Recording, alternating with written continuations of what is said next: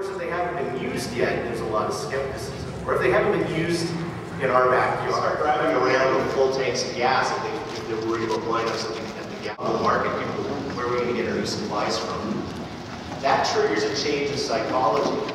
And a fellow Lester Brown who started, we started to go, ooh, a real hardcore Peak guy, it makes sense that at some point we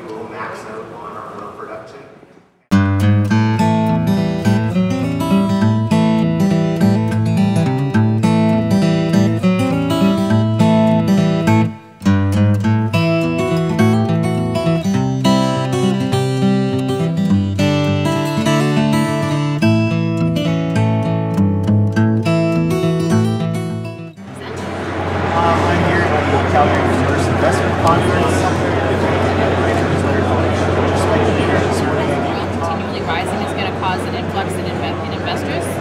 Definitely, definitely is going to, you know, it's going to create a very great, a really innovative client offering.